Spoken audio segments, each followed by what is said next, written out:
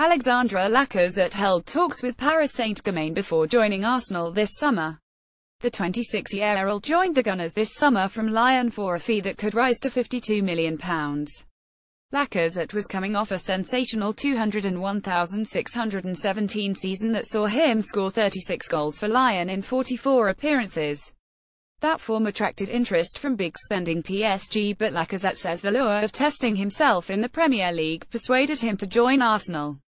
Highlights Arsenal 20 Brighton Lacazette told RMC Sport we talked to PSG but I knew it was not where I wanted to go.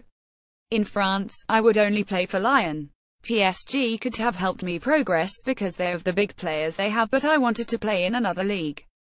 Lacazette has quickly established himself as a favourite with Gunners fans with four goals in his opening seven Premier League matches.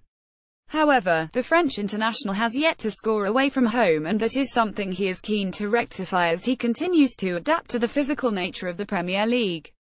In the Emirates, I have been efficient. Now I have to keep going and have the same stats away from home, Lacazette said.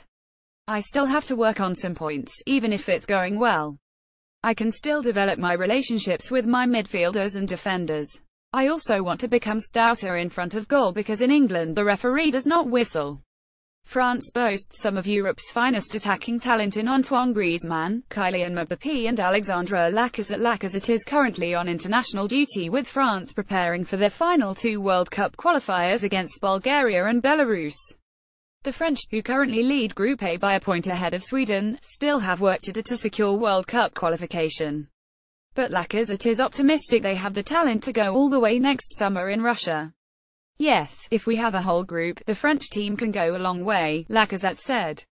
We have a mix of generations, some the experience of Brazil World Cup 2014 and Euro 2016. There are also young, very talented people who have frightened Europe this summer.